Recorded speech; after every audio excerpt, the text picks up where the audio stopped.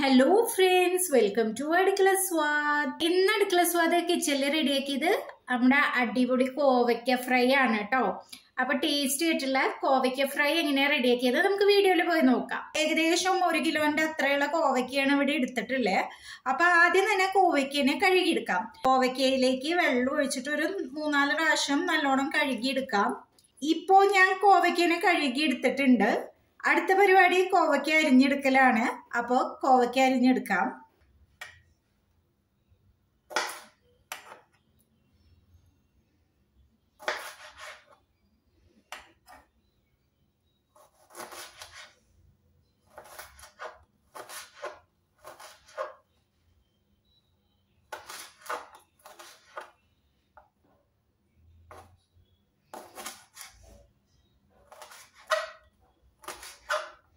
അപ്പൊ ഇതേമാതിരി നമുക്ക് ബാക്കിയുള്ള കോവയ്ക്കേനെയും അരിഞ്ഞെടുക്കാം കേട്ടോ മുഴുവനോടെ വേണമെങ്കിൽ അങ്ങനെ അരിഞ്ഞോളൂ. പക്ഷെ ഞാൻ അതിനെക്കാട്ടി നല്ലത് എനിക്ക് തോന്നിയിട്ടുള്ളത് കോവയ്ക്ക് ഇത്തിരി വലിപ്പമുണ്ടെങ്കിൽ പകുതിയാക്കി ഇതേമാതിരി നീളത്തിൽ അരിയാവും നല്ലത് കേട്ടോ അടുത്തത് ഞാൻ ഇതിലേക്ക് കുറച്ച് പൊടികൾ ചേർക്കാണ്. ആദ്യം തന്നെ ഇതിലേക്ക് മഞ്ഞപ്പൊടി ചേർക്കാണ് കേട്ടോ അര ടീസ്പൂണോളം സാദാ മുളക് പൊടി ചേർത്ത് കൊടുക്കാണ്. അടുത്തത് ഒരു ടീസ്പൂൺ കാശ്മീരി ചില്ലി പൗഡർ ചേർക്കാണ്. നിങ്ങൾക്ക് വേണമെങ്കിൽ അര ടീസ്പൂണോളം ചേർത്ത് കൊടുത്താലും മതി. പക്ഷേ കാശ്മീരി ചില്ലി പൗഡറിന് അധികം എരിവില്ല.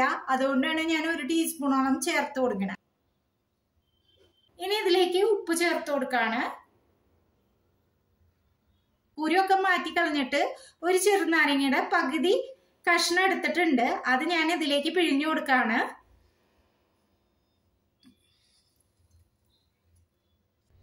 ലേശം വെളിച്ചെണ്ണ ഒഴിക്കുകയാണ്. കുറച്ച് കറിവേപ്പില ചേർത്ത് കൊടുക്കാം.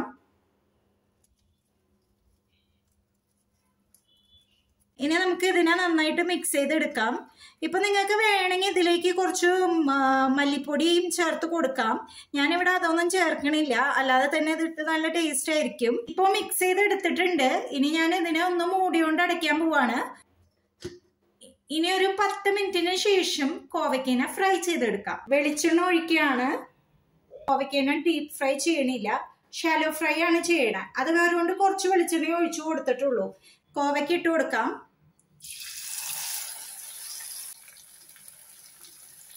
ഇതിപ്പോ ചട്ടിയിൽ ഇങ്ങനെ ആവും തോറും നല്ലൊരു സ്മെല്ലാണ് അടിക്കണേ.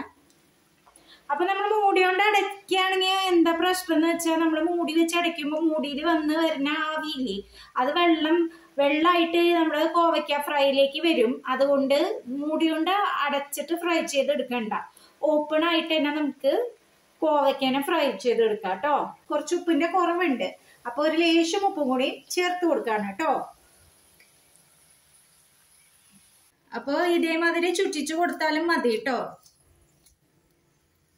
അപ്പൊ അടിപൊളി കോവയ്ക്ക ഫ്രൈ റെഡി ആയിട്ടുണ്ട്. ചോറിന്റെ കൂടെ നല്ലൊരു കോമ്പിനേഷൻ ആണ്.